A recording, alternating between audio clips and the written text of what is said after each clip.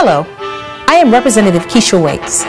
As we prepare to go to the polls and vote, I would like to encourage you to vote for my friend, Councilwoman Natalyn Mosby Archibong. For over 12 years, Councilwoman Archibong has worked effectively for our city and labored to improve Council District 5.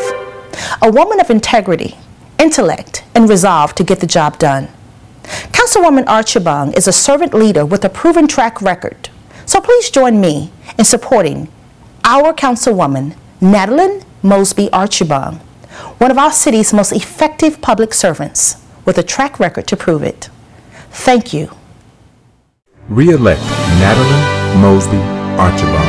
Effective leadership with a record to prove it.